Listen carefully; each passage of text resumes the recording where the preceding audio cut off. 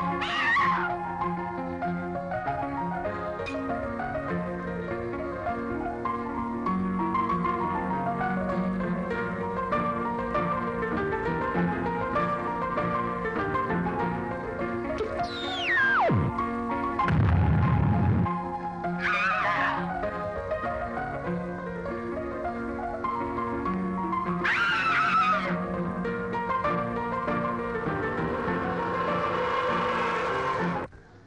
We've got the talkies, I can tell you.